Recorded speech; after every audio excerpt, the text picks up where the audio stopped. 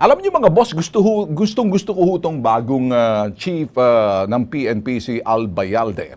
Alam niyo ho ba bakit? Ang laki hong pagkakaiba nito. Nakikita ko ho itong persona nito at parang nandun din ho kami, we're the same lay, uh, ito wavelength. Ngayon, ah, bakit ko ho nagustuhan? Ang dami ho kasing umatungal dito ng ah, sinasabi ho namin, yung aming ah, point na that time na hindi pa ho sigurado, during the time, ang nakaupo, hindi pa ho siya. At siya ho yung ah, pumalit. Ang dami ho kumontra dito. Alam niyo ho ba kung bakit? Ito ho yung Chief PNP na para ho sa akin, nababagay ho eh. Disciplinarian ang kinakailangan ho natin disciplinarian, hindi ho yung, uh, yung para bang inaayunan yung kalokohan ng ilan sa hanay ho ng Philippine National Police. Naniniwala ho ako na matinding disiplina ang kinakailangan. Ako ho'y naniniwala rin na kinakailangan ho na karoon ng pagkumari, pagbabago ho sa ating pamahalaan, sa kasalukuying administrasyon, kumukontra man ng ilan, hindi sasang-ayon ng ilan, pero pagtitingnan ho natin, nandun ho sa puso ng mga leader tulad ho ng itaas sa presidente hanggang doon sa chief PNP kasi iba ho talaga pag nakuha ho natin ang tiwala at respeto ng mamamayan dito ho sa ating mga pulis abay okay na ho tayo. Kasi ang mga pulis ho dapat una disiplinado marami ho kasing umatungal talaga. Ito balikan lang ho natin. Ngayon ho, kasaluko umatungal kasi ayaw ho nila maupo itong si Chief P. Eh, nandyan na yan. Wala na kayong magagawa. Ngayon, ang dami pa rin kimakyaw-kyaw dito sa mga putok sa buhong pendehong mga pulis na hindi ko nila lahat. Ang dami hong magagaling na mga pulis. Merong ibang mga spoiled brat, mga matupang itim na dapat talagang tinatanggal sa serbisyo. Ang titigas ng ulo eh. Alam niyo ba ngayon kasalukuyan si uh, General uh, Albayalde? Eh, siya ho'y nakikipag-ugnayan ho, uh, coordinating with the Internal Affairs Service or IS or IS or in, Internal uh, Affairs. Ito ho yung mga internal affairs tumitingin ho doon sa mga ito'y uh, karakter records ho ng bawat pulis natin. Kinakailangan ho yan na nagkakaroon ho ng sinasabing investigation na yun hong mga, ito yung mga related offenses or violations or abuses ng ating mga pulis. Alam niyo ba, ang sinasabi ho, kasi ang, ang, ang una hong talagang tinatarget ho ni, ni uh, Chief PNP, yung bagong nakaupo ngayon, si Albayalde, ay talagang tumbukin, bigyan diin ang disiplina at pasunin din. Ito hong mga kulang sa disiplina, bastos alang respeto at alang galang.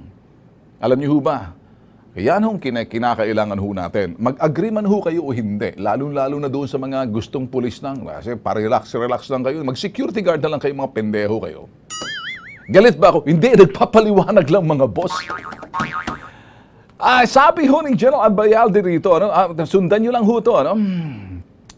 Sabi niya, we will expedite these cases not only for punishment, talagang pabibilisin ho ang, ang takbo ho ng sinasabing pag, uh, pag-iimbestiga ho rito ho para mabigyan din sila ng due process na talagang pakinggan din sila. Hindi ibig sabihin na kay inaakusahan, ikay guilty na at kasi may due process.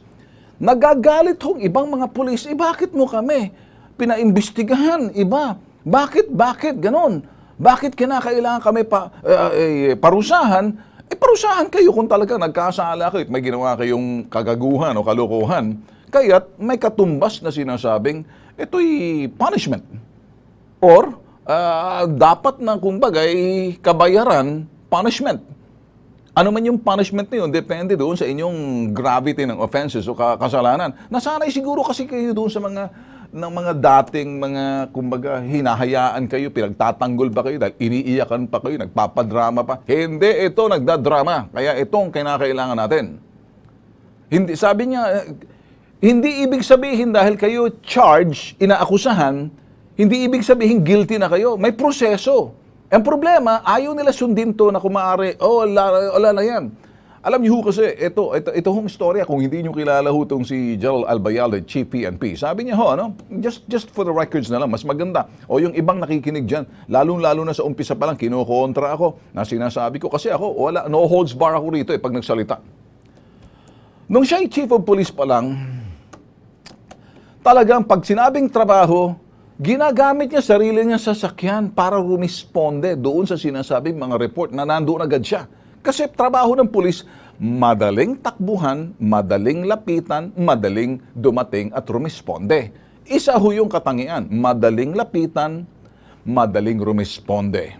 Pinagkakatiwalaan dahil mahalaga ho yun, eh unang-una, mga respetable dahil alam ang silatang respeto, disiplinado kasi.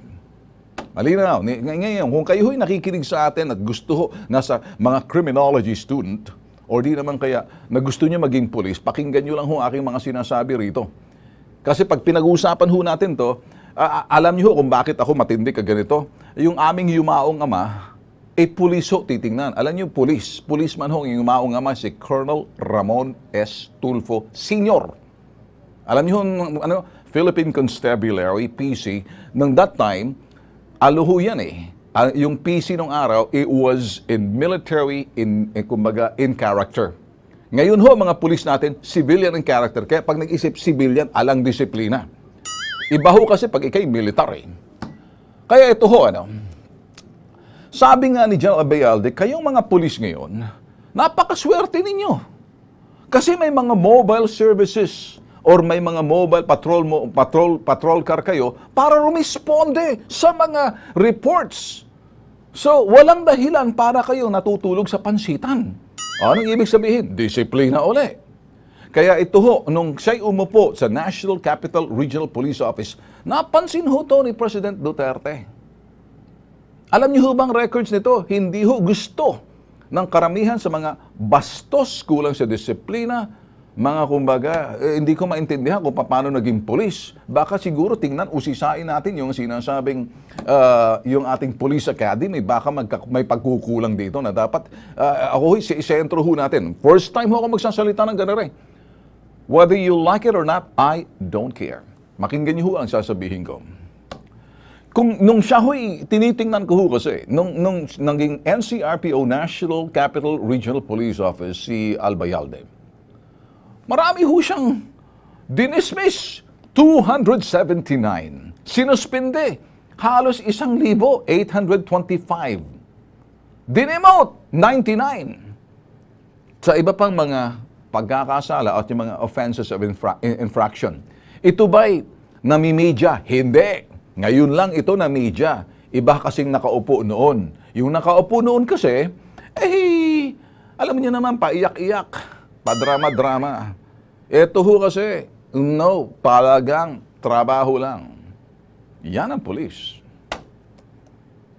Ayaw ho kasi ng iba dyan, sinasabi ng iba, eh, mga pa, pa, pa, bakit nasugpo niya ba ang, yung, yung drug sa, sa, itong mga sabi ng iba dyan, mga pulis na, ibang mga, yung mga nagagalit kasi hindi ata nalagay, yung mga pulis na, na ina-expect nila, Davao Group, makinig kayo. Hindi pinag-uusapan ang Davao ay Pilipinas. Ang Pilipinas ay kabahagi yung Davao. So hindi pinag-uusapan kung saan ka nang gagaling. Pinag-uusapan kung karapat dapat ka, kung disiplinado ka. Hindi dito pinag-uusapan, abay, teka muna, ay taga-probinsya namin to. Eh, hindi ganoon. May kunting part noon kung talagang deserving ka. At hindi dapat sabihin dahil taga Davao ang presidente, dapat taga Davao. Yun ang, yun ang unang perception ng ibang mga putok sa buhong hinayupak na ewan natin kung mamumura ko dahil itong umaga. Hindi, gagalit pa ako. Hindi. Coffee muna tayo mga boss. Oh, yeah. Okay. Hulaan nyo kung anong coffee to. Pag nahula nyo, pag nahulaan nyo, di hati tayo. Oh, anyway, pabalik ho tayo rito, ano? Ito lang, ito yung police na nagsusurprise visit sa mga police station para nakik nakikita kung sino mga natutulog humihilik sa loob ng presinto na dapat listo. Nagalit ho yung ibang dyan, sabi ng ganun, hmm, papasikat lang yan. Eh, hindi na naintindihan. Ito pag nagtrabaho na sa puso, disiplinado. Iba ho talaga ang isang taong disiplinado sa taong alang disiplina. Ang taong disiplinado umaasenso. Ang taong disiplinado may katangiang kaiba doon sa mga taong alang disiplina. Ang kataong disiplinado matagumpay kung kaya't lahat na kanyang ginagawa alam niya dahil sa disiplina. Meron siyang sariling template o sinusunod na pamantayan base sa kanyang disiplina sa buhay niya, sa personal na pagdesisyon niya, pag-iisip niya. Yun ang pagkakaiba ng mga taong disiplinado. Pag ikay disiplinado na ituro sa iyo sa bahay pa lang, bata ka pa lang, hanggat sa, sa, sa, sa, sa PMA ka pa, Philippine Military Academy, or saan mang ipinanggalingan mo, yung disiplina na yun, abay nakamtan mo, napatunayan mo, nagagamit mo, paulit-ulit mong ginagamit kasi disiplinado ka. Ang taong walang disiplina, parang lutang na troso sa dagat. Hindi malaman kung saan ang direksyon. Ganun ho ba ang iba sa inyo? Pag ikay disiplinado, alam mo kung saan ka patutungo dahil alam mo ang direksyon mo. Pag hindi mo nakikita ang direksyon mo, your direction determines your destination. Plain and simple. Kung ikay isang leader, you know your destination because you look at your direction. Ito hong sinasabi natin. Ngayon, nangangaral ba ako? Hindi. I'm trying to, to put my analysis para maintindihan niyo ho. Kasi ako ho, pag nagsasalita, do I have a script? I'm saying it because it's coming from here and here. And it's so easy to say things kapag ito'y nanggaling dito at nanggaling sa puso mo. You just say it using a piece of your little, you know, muscle or what you I call the tongue, sa dila, nasa Bible din ho yan. And it's easy to say it because you say it because it acquired knowledge and then sa puso mo, which is your wisdom, proven and tested, paulit-ulit mo sinasabi, ang matagumpay namang individual, pulis ka man o hindi. Kung sino ka mang individual, estudyante ka man or or or uh, millennial ka man or uh, generation X ka man or um, boomer ka man or post-war baby ka man kung nabubuhay pang ilan sa inyo, there's only one common denominator, disiplina. Disiplina ang siyang isang bagay na makikita mo sa mga taong matatagumpay, lalo-lalo na pag isang leader. Pag ang isang leader hindi disiplinado, makikita mo ang hanay niya. Makikita mo sa hanay. Gets nyo? May pinatatamaan ba ako? Hindi. Ginagawa kong basihan. Sino bang pinalitan nito? Ano nakita nyo sa hanay? Sa halip na disiplina, pinagtatanggol pa. Eto, hindi. Pag mali ka, mali ka. Pag tama ka, tama ka. At saka pag mali ka, may tama ka. Tatamaan ka. Ganon kasimple. Ngayon, pag tama ka, abay, taman-tama ka. Ang tama sa iyo, tagumpay, pabuya, reward. Dahil disiplinado ka. So ngayon, in-order ho ngayon ni General Abayalde, mga boss, if you're only following me, listen carefully to what I'm saying kasi ito ho'y hindi ko ho gawa-gawa, proven and tested. Acquired knowledge, which becomes wisdom when you believe on it and you prove it and, and test it and you keep doing it. Na-identify niya ho kasi gusto niyang malaman dito sa mga potok sa buhong mga pulis na kumakyaw-kyaw hanggang kasalukuyan, may denial syndrome, kumakyaw-kyaw sa Facebook, itong ibang mga pulis na to, inilalabas ang kanilang mga, kuminsan yung mga taong mga emotionally wreck, emotional disturbed. May kilala ho ako, emotional disturbed. Matanda na, emotional disturbed. Hindi ho makita yung sinasabing bagay na kuminsan na, na yung emosyon nangingibabaw. Kaya yung mga taong emotional, makinig kayo. You will never succeed because your emotion will eat you up. Kaya yung mga taong galit, emotional ngayon, tulad nito mga pulis. Yung iba dyan, emotional, di malaman, nagmumuni-muni kung sila'y babalik or sila'y sibak na. Sibak na siguro. Nag, nag, gusto mong masibak ka, sinibak mo sarili mo. Dahil mismo sa emosyon mo na hindi mo makontrol, wala ka kasing disiplina. O ngayon, kung pulis ka, pakinig to. Hindi niyo pwede, gusto hinahanap ngayon itong si General Ibayalde, hindi po pwede na kayo yak-yak ng yak-yak, salita kayo ng salita. At ginagamit yung Facebook page para tuligsain by hindi lang criticizing, hindi lang tinutuligsa, ginigiba, sinisiraan. Yeah? Etong si Albayalde, kabilang na yung mga opisyalis ng mga pulis. Kaya, ito ho kasi na-appoint na tumigil na kayo. Para rin palang mga liberal itong mga ano, yung may marami palang hanay ng liberal o dilawan sa loob ng PNP. Ganun ba? Hindi pa rin matanggap ang pagkatalo. Feeling nila, eh kung sila, eh, tapos na eh, tanggapin nyo na. Kayo mga pulis na mga uh, losers, makinig kayo ha. If you keep destroying the rank, the institution that you're representing, you think you'll do something, you think that you can change the world by posting all these rants, all these complaints and whining, complaining, na para kay mga batang supot. Oh, makikinig kayo. Walang, ma- walang patutunguhan. Bagkos, sinasabi ni Abalay, hahanapin kayo. Hahanapin kayo. Kasi, sabi ni Gerald Albayali, bagong chief PNP, ito pa lang sa ugali ninyo. Parang questionable na kayo maging polis. See? Kung kayo mga polis, paano nyo nasasabi na yung senior ninyo hindi nyo ginagalang? Ano kayo mga sangkaterbang tulisan? Mag-abusayap na lang kaya kayo. Mag-MILF na lang. O, pasensya na lang. O di kaya, sige, mag-ISIS na lang kayo. Kahit na nga sa ISIS, may hanay pa rin. Respeto eh. O, nakikita nyo? Pag wala kayong respeto sa bawat isa, ang tawag ko mga hanay ng mga tulisan. Ang mga tulisan at mga kawatan, galit sa kapwa-kawatan dahil ayaw nila malamangan. Pero matitinong kutulisan at magagaling na mga kawatan ay hindi ko sinasabi, maging kawatan na lang kayo. Ay, mag, may mga kawatan, may sinasabi siyang code of ethics and code of conduct na mga magnanakaw. Respeto sa kapwa. Pero yung mga magnanakaw na hindi nagre-respeto, nagpapatayan kapag sila'y nagnanakaw. Dahil ini, naglalamangan eh. Alam mo mga kawatan, ayaw nilang malamangan ng kapwa-kawatan dahil alam nila kung paano kumawat. Ayaw nila na isahan dahil trabaho nila mang-isa, manloko. Kaya pag sila'y naruloko, nagpapatayan, nag-oonsehan. O, you get, gets nyo lang yun. O sa mga pulis, sa hanay ni, hindi ko sinasabing, gusto ko ang mga pulis. Ako ho, nagsasabi, respetable kayo. Tinitingala kayo. Madali kayong takbuhan, madali kayong lapitan, madali kayong rumisponde, madali kayong dumating. Yan ang kinakailangan pagiging pulis. Kaya itong si General Albayalde, sabi niya, pa, pa- paano kayo magiging pulis na wala kayong respeto sa mga senior sa inyo, na siyang mga leader ninyo, na siyang nahumuhubog sa inyo kung may mga pag-asa pa kayo mga pendehong putok sa buho, o lumalis na lang kaya kayo, kaysa naman gamit kay gamit ng Facebook, naninira.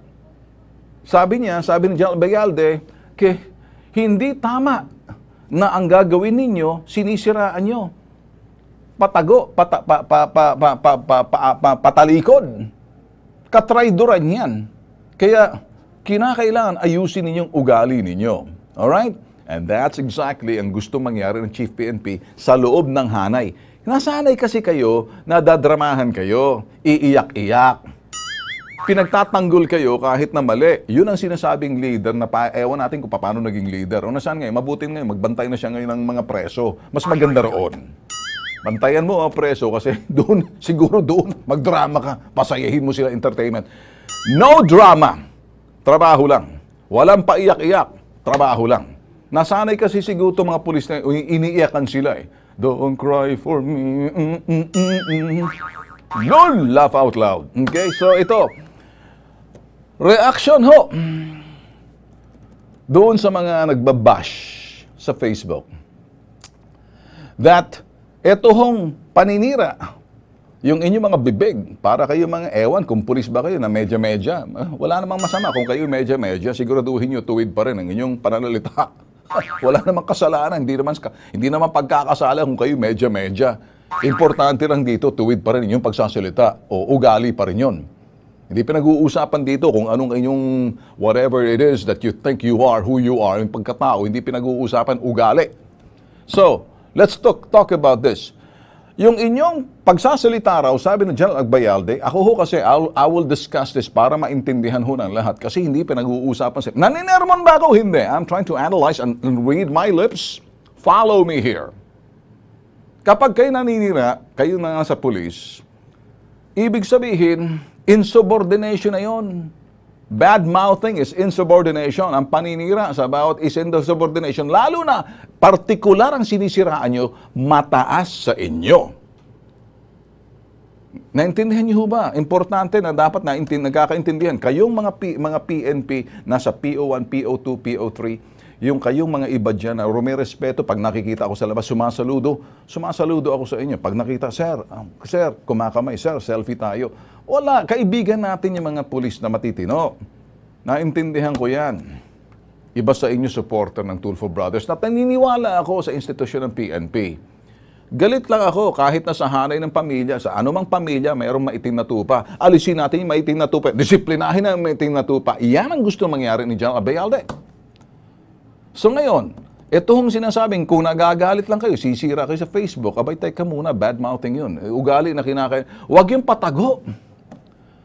O nakikita nyo, yun ang sinasabi. Kasi pag patago kayo, sinisiraan yung kapwa yung pulis o lalo na opisyalis ninyo, pinakikita nyo lang kung anong klaseng organisasyon, yung inyong, yung inyong, yung inyong asal na hindi pagrerespeto sa organisasyon, hindi nyo nang narespeto ang inyong, inyong opisyalis, eh binastos nyo na rin ang inyong uniforme. Entiende? Pag sinuot niyo yung uniforme na yan, ang sino mang sumusuot ng uniforme yan, mabaho ka man o malinis ka man, uniforme, respetohin. Okay? Pero ang nagsusuot ng uniforme, mas mahalaga doon sa uniforme kasi ang uniforme hindi nagkakasala. Ang uniforme ng pulis, hindi marunong hindi marunong gawa ng kagaguhan. Yung sumusuot ng kagaguhan, yung sumusuot ng, ng uniforme na yan, baka gago. Baka tarantado. Kaya kinakailangan, pag sinuot mo yan at nasa hanay ka ng sinasabing organisasyon, uniforme yan, representasyon ng sinasabing organisasyon at nakikita yung hanay ng organisasyon, respetable kayo kasi hmm, hindi yun naninira, hindi kayo medya-medya. Buo kayo, matitino kayo, mga talagang astig kayo. Tunay na lalaki na sinasabing usapang lalaki. Kahit na iba, tunay na babae, usapang babae. Respetable. Or kung sakaling hindi ka man doon, tunay ka pa rin kasi tunay ang ugali mo, walang paninira. O, um, maganda siguro din. This is not a question of gender anymore. In short, sa kapulisan, ako'y magsasabi sa Bitag Live, unfiltered, no holds barred, you better follow. It's a, eh, gusto kong maintindihan niyo sa pagiging pulis. One, somebody will lead. Iisa ang mamumuno si Abayalde. Number two, yung mga namumuno, sum, yung namuno at yung sumunod kayo sa namumuno. Kasi kung hindi kayo sumunod sa namumuno, kinakagat nyo, sinisiraan nyo namumuno, abay, teka muna. Kayo yung tagapagsunod. You're the follower, and so therefore, submit, follow, obey. If not, you cannot obey, you cannot follow, get the F out of the organization. So, here's the order. Somebody will lead, and the leader, it's called the leaders, sabi Alde. Somebody, all, everybody follows because that's the order of things. If you cannot follow, you cannot respect, get the F out. Lumayas ka. Huwag kang manatili dyan parang, para kang lason sa loob ng sinasabing organisasyon. Nakatape po to, everything that I say is documented. Para dun sa iba, follow carefully. In short, kinakailangan natin ng leader dito na hindi umaayon. Not permissive, hindi ho permissive. Kinakailangan natin mga pulis, hindi binabaliwa, dismissive doon sa mga ginagawa ng kanyang tao. Kinakailangan natin ng pulis ng, ng leader dito, tulad ng Ebe Alde, mababa ang pasensya, low tolerance pagdating doon sa kagaguhan at kalokohan. So naintindihan nyo, nandyan lahat yan sa leader ninyo. Sumunod kayo, hindi yung leader ninyo na nandun ngayon nagbabantay ng preso. Ngayon, ako naniniwala sa sinasabi ko, ibalik ang pulis sa ilalim ng sinasabing, kumbaga, Philippine Constabulary nung araw, kung kinakailangan, kasi ayon ng ibang mga politiko. Bakit? Hmm. Merong iba gusto, pero ako naniniwala, the police should adopt the military character. You obey first before you F complain.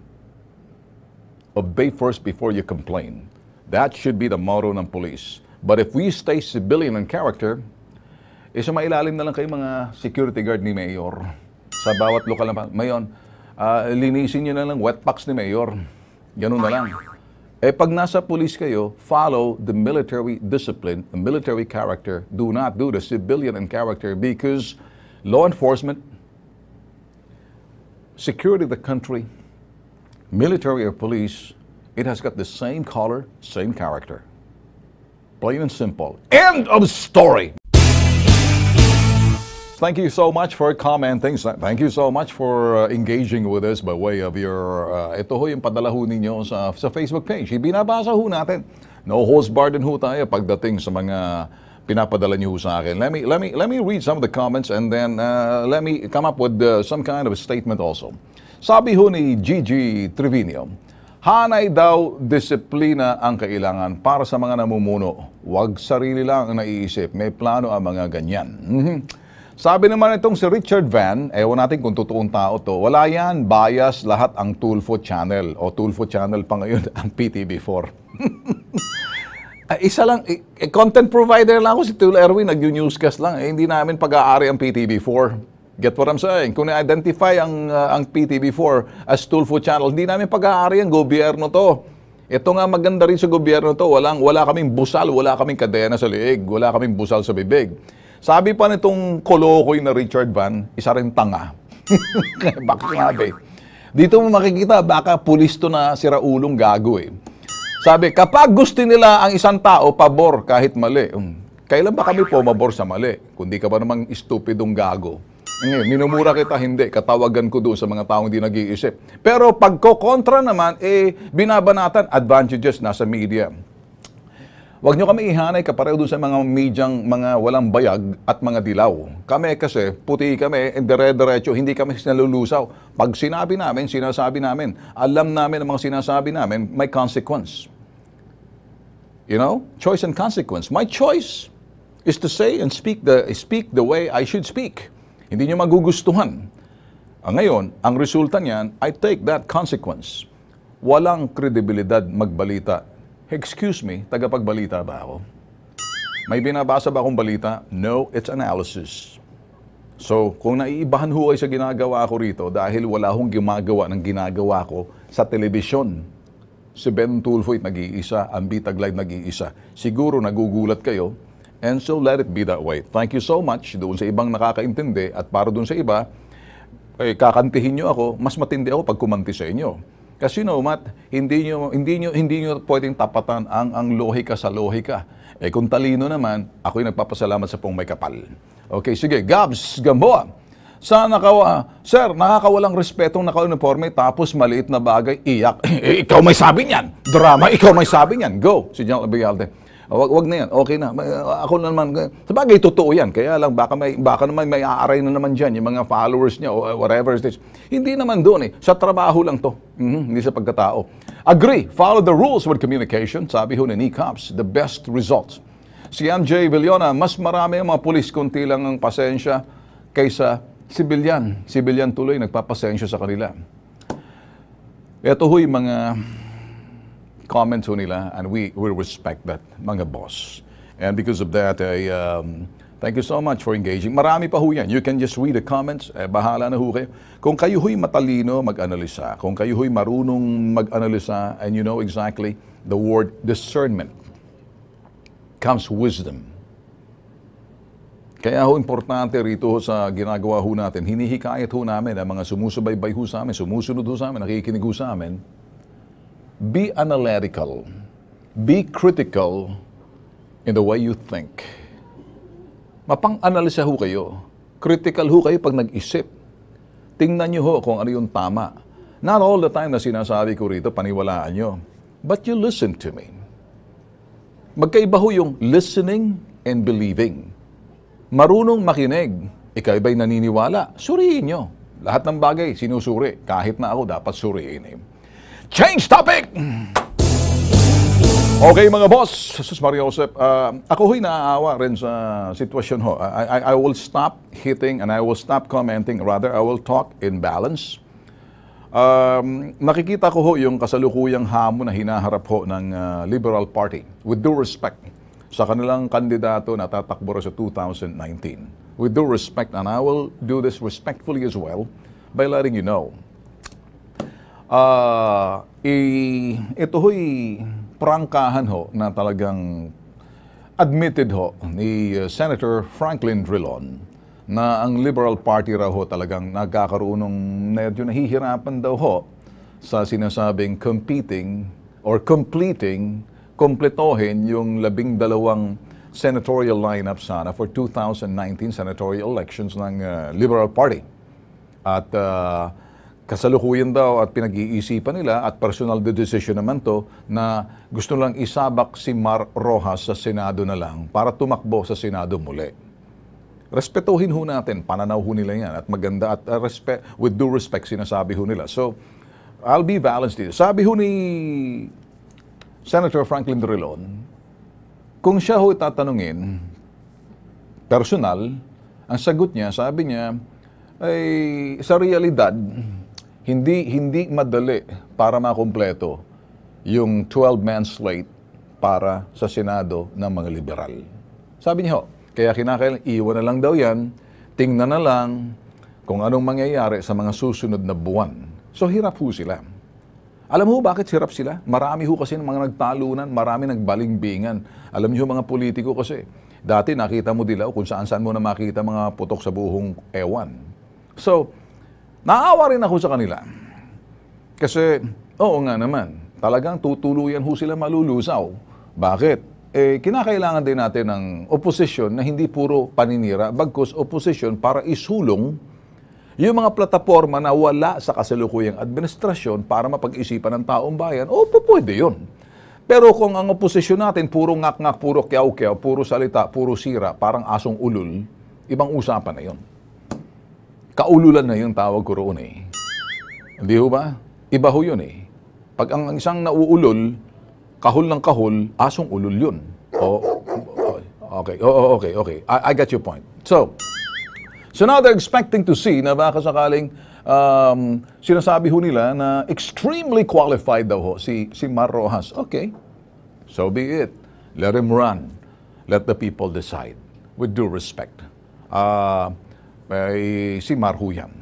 Um, sa bagay, politika ganyan talaga eh. Sometimes you have to be sport. Okay? So ngayon, sabi ho ni, sabi ho ni Franklin Drilon, si Drilon ho ang source dito ho ng news, ano?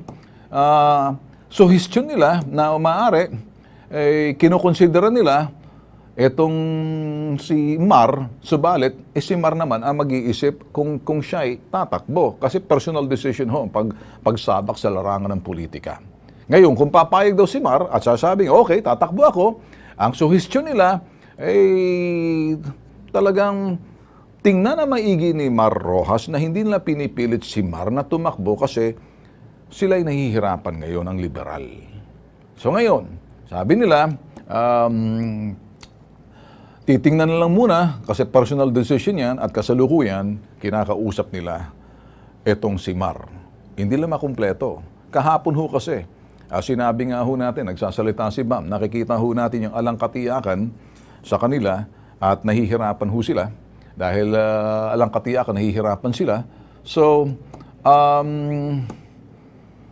sabi ni Bam, hirap din na sana makapasok sila sa Magic 12 kasi si Bam nasa number 14 eh.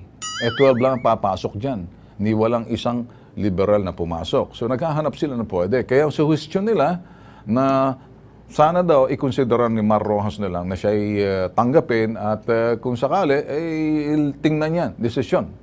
Pero uh, hindi pa raw desidades, desidido si Mar at nakikita ko na mamasyal to kahit saan. Nagkita kami, one of, na bump off kami sa isang eroplano, o ganyan ang bump pala. Wow, bumata ata si Mar. ah. Mukhang oh, oh, oh, oh, oh, okay. Chip, chip, chip, chip. Hello, pretty. Oh, hello, boy. okay, yan, si Mar. That's Mar. And he's enjoying his private life. Yan. Wow, marunong namang luto ng itlog. Si Mar ba yan? Okay. Ang sigla ng palengke. Okay. So ngayon, I bet nag ano siya, ano ba to? Scramble egg to? Okay. Oy. All right. Patingin, patingin, patingin, patingin. Ah, nangyari ho to. Ang titigas kasi ng ulo ng iba, ayaw masumunod sa disiplina, kaya ayun, nag-traffic yung pobre. Nabasa tuloy ng ulan. Pumapatak na naman ang ulan. Maiwasan gumawa ng hindi inaasahang bagay. Traffic dito, traffic doon, na lang pumapansin. Na nata... Okay, okay. Alright, then, then. So nasa sa kanya na lang ho yan kung siya'y tatakbo o hindi. Iwanan na ho natin yan. Seryoso ang balita natin. Sometimes nila, ina, may entertainment value lang ho tayo sinusunod dito. Alam niyo mga boss, wala ho akong makitang mali sa ginawa ho ng pag-rescue doon sa Kuwait. Let me be very specific on this. Kung nag-apologize man ang ating bansa sa Kuwait doon sa sinasabing emergency OFW rescue, eh, then kinakailangan natin mag-apologize pero wag magsisi sa ginawa ng ginawa natin pag-rescue. Nasaan bang mali? Pag nag-rescue kayo, tahimik lang. Huwag na kayong umepal. Huwag nyo nang idokumento sa susunod. Kasi pagdodokumento nyo, nakantin nyo yung bansa ng Kuwait. Just rescue quietly and do it quietly. Huwag kayo magpa-epal. Yun ang naging mali ng mga nandoon sa, sa Kuwait. Or baka may kasama kayong media na binayaran kayo, exclusive, kaya ganyan. So tal, nakita niyo man yung rescue na sa isang stasyon lang eh. Para nakita ko ata doon sa ano eh. Doon sa nagluluto-luto yung maganda roon na artista. Sino ang pinanood ko? Si... Ano pangalan nun? Yung luto ng corned beef, etc. Gusto ko yun. Kasi parang recall, letter J. Ah, si Jenny Lynn. Oh, doon. Nasaan ba? Ano channel ba yun? Ano channel yun? Ano channel yun? Oh, okay, okay, okay, okay. Ah, ganun. Doon ko napanood yung rescue na yan eh. Pero pinanonood ko yung luto-luto muna. Tapos lumabas sa news, doon ko napanood. Oy, yung channel ni Jeneline. Kasi kung ang channel, ang, ang sinasabi nila, Jeneline Channel, eh sinasabi ng Channel 4, Tulfo Channel, which hindi naman. Mga nandoon lang kami napapanood. Okay? So ngayon, ang mali, doon natin napanood, kumalat, nag-viral. Nakante, nagalit ang sinasabing Kuwait government sa ginawa natin. Kasi yung pinag-uusapan ho rito, protocol. The protocol. Na may sinusunod ho tayo. Of course, may, may protocol ho yan, country's protocol. But then again, ang pagre-rescue ho kasi, if it's between life and death, life and death, eh kung yun ay ka, ka- kung hindi mo siya i-rescue, baka ay malintik ka. Baka ipakulong ka, sampang ka ng kaso, eh mahihirapan ka ngayon, o baka man sasapitin mo, ilagay ka sa loob ng freezer uli. Kilala ang Kuwait doon sa sinasabing katarantaduhan na yon.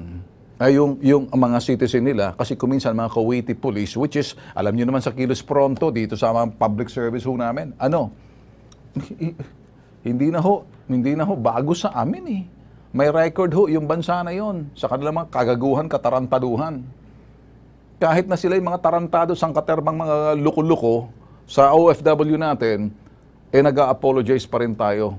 Para bang yumuyuko tayo sa kanilang kagaguhan at katarantaduhan. Ang mali, sino kaya yung siraulong luko-lukong nag-video? At inilabas mag-viral. Kung talagang gusto niyong gumawa ng kawang gawa, You don't have to say it. Just keep it. One down, more to go. Keep rescuing silently. Bakit ba nauso na ngayon paggagawa kayo ng kabutihan, laging may video?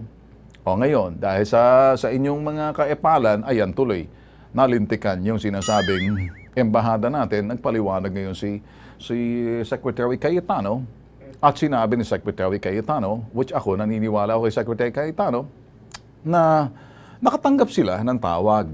Mhm. Dahil tawag ng mamamayan, ban- mamayan, mamamayan natin na sabi, papatayin ako rito, ah, nanganganib ako rito, kaya kinakailangan ng agarang aksyon, tulad ng kilos pronto. At aksyon ng prontong aksyon na kinakailangan mong ibigay right away. Pronto! So, doon sa sinasabi na yan, eh kinakailangan pa natin mag-apologize kahit na sila, eh kung titingnan mo naman ang kanilang kredibilidad at integ- integridad na mga siraulo roon, total, hindi naman tayo naintindihan eh. Okay lang eh. Kaya magtatagalog ako. Hindi ako gagamit ng English. Total, mga siraulo naman sila eh. Total, mga sangatarmang mga gay-go naman yan eh. Mga eng-eng.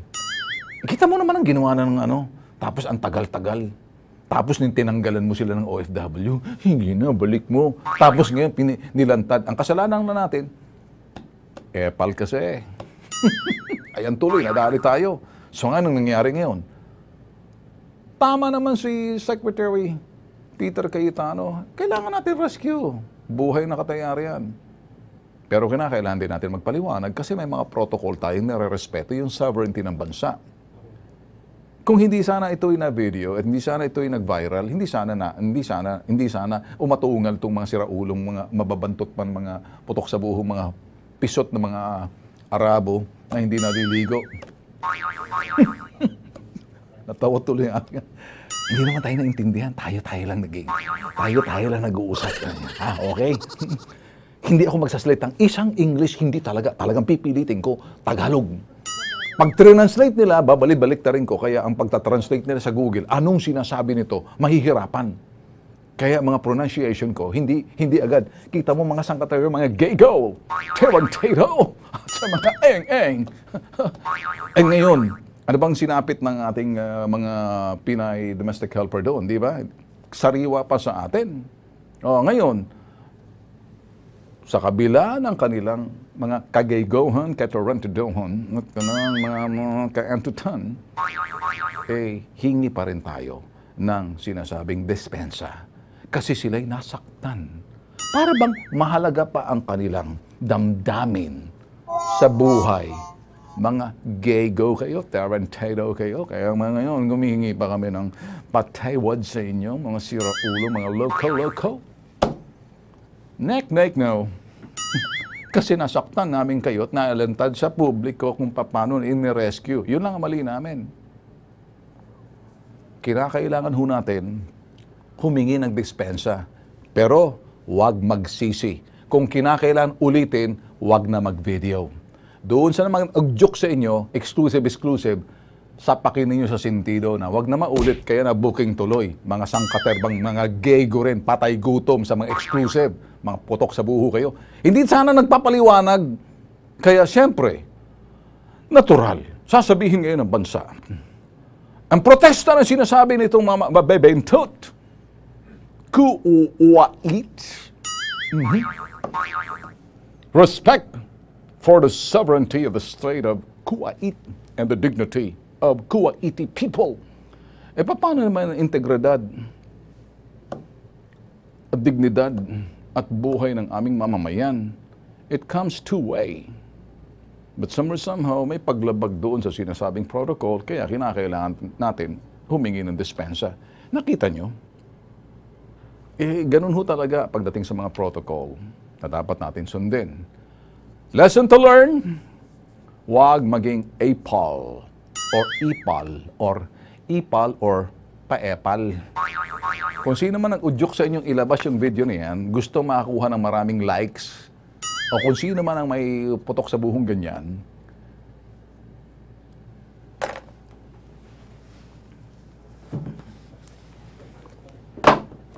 sasapatusin ko kayo eh.